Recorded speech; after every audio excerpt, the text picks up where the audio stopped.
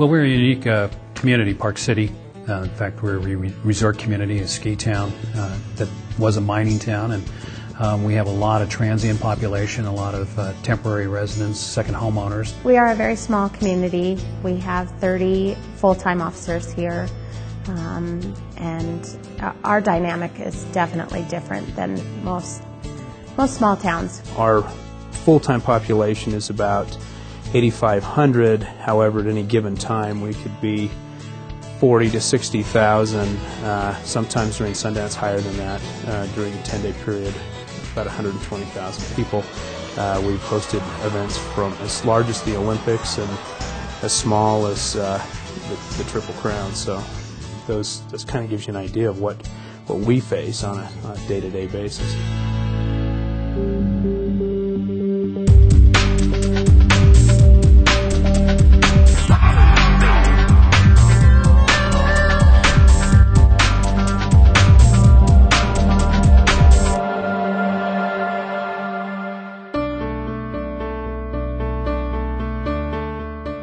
We've always tried to stay ahead or, or at least up with with the increase in technology and, and the demand because the people we, we serve a, a population that comes from all over the world and they have that expectation when they come here and so we're always looking for new ways to do our job and that's the reason we like crime reports. One of the comments i got back feedback from one of the community members that uh, we work with that says this was addicting and once you get on it and you find out how much information is out there and how um, timely that information is to help you understand as a resident what's going on in your neighborhood.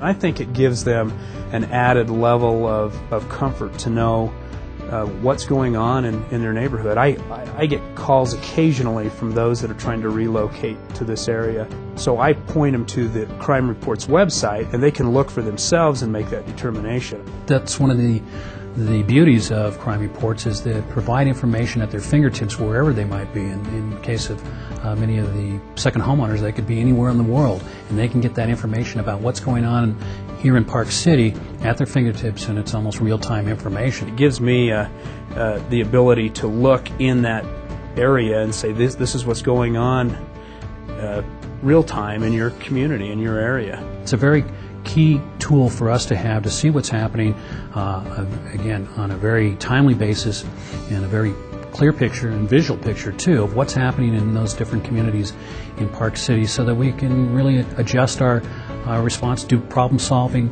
uh, you know, see trends and, and, and work with the community too and we can get them better informed on what's happening so they can take their part in maybe reducing the crime in their neighborhoods. I know that as we've tracked our, our call loads and our case loads, I think the community's been surprised at how active and busy we are, and I think that that, that gives us more support.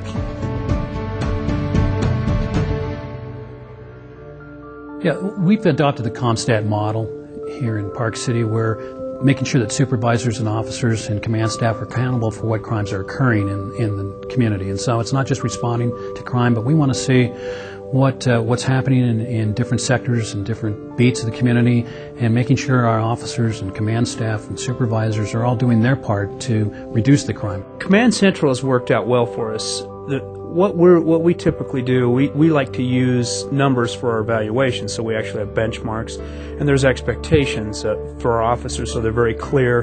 One of our sergeants uses Command Central for all stat reporting for the department. Um, he uses it not only for reviews, um, but for stat meetings um, to let the captains know what's going on in specific areas.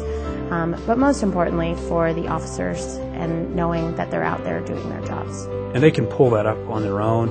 Uh, their supervisors can pull up that information, and it gives us the ability to it's flexible, it's scalable, and, and we can point to real numbers when we're in the evaluation process.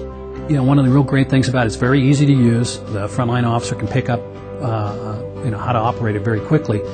Pretty much point and click. They have no issue with using it. It's, it's more, uh, it's very user friendly. Uh, we haven't had any issues that I'm aware of of anyone having a, a difficult time navigating through the system.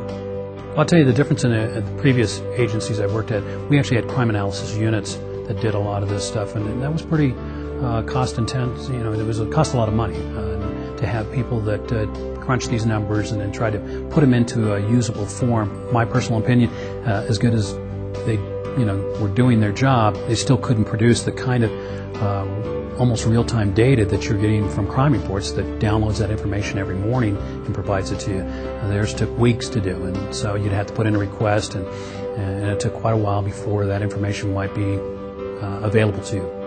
This is the direction we want to go as far as CompStat, reaching out to the community and getting our officers better informed of what the crime uh, trends and patterns are, but something we couldn't do without the partnership we have with Crime Reports.